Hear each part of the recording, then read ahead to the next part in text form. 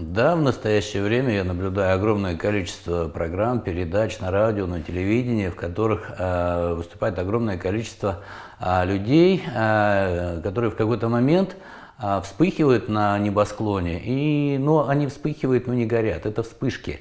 Они не дают длительного эффекта. С чем это связано? Ну, на мой взгляд, связано это с тем, что медийное пространство заполнено различными каналами, и у очень много этих звездочек, да?